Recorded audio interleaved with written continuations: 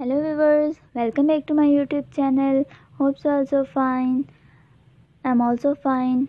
Taking care of yourself. Today in this video i am going to show you ideas and designing about bodycon dresses you can see different sizes and different varieties of crochet knitting bodycon dresses in this my video they look very beautiful and most flattering.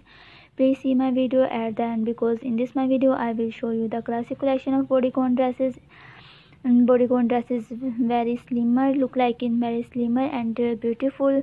You can wear um, cold shoulder bodycon dresses half uh, um, off shoulder bodycon dresses and many other different styles of bodycon dresses in um, you can wear these bodycon dresses in summer season as a fashion and also wear uh, these bodycon crochet bodycon dresses in your parties functions and many other different tassels bodycon dresses in, in different uh, mm, working days and as a casual day. A dress is a garment traditionally worn by women or girl consisting of a skirt with an attached bodice. It consists of a top piece that covers the torso and hangs down over the legs. A dress can be any one-piece garment containing a skirt of a length and can be formal or casual.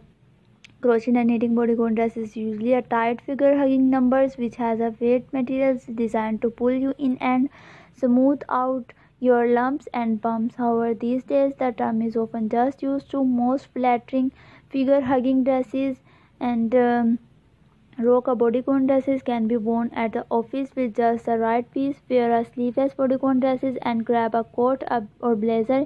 You make it over work oriented outfit. You can use pointed flats or comfort. And uh, you can also buy it from market. Many varieties and many styles of tassels bodycon dresses are easily available in market and also make it in your own home by uh, different techniques of crochet and knitting and if you want to make an order please see the link in my description. Touch the link and contact with us. Okay viewers? See you later in my next video. Take care. May god bless you. I pray love for your health and wealth. Numbers mean your prayers. And thank you supporting us. And uh, good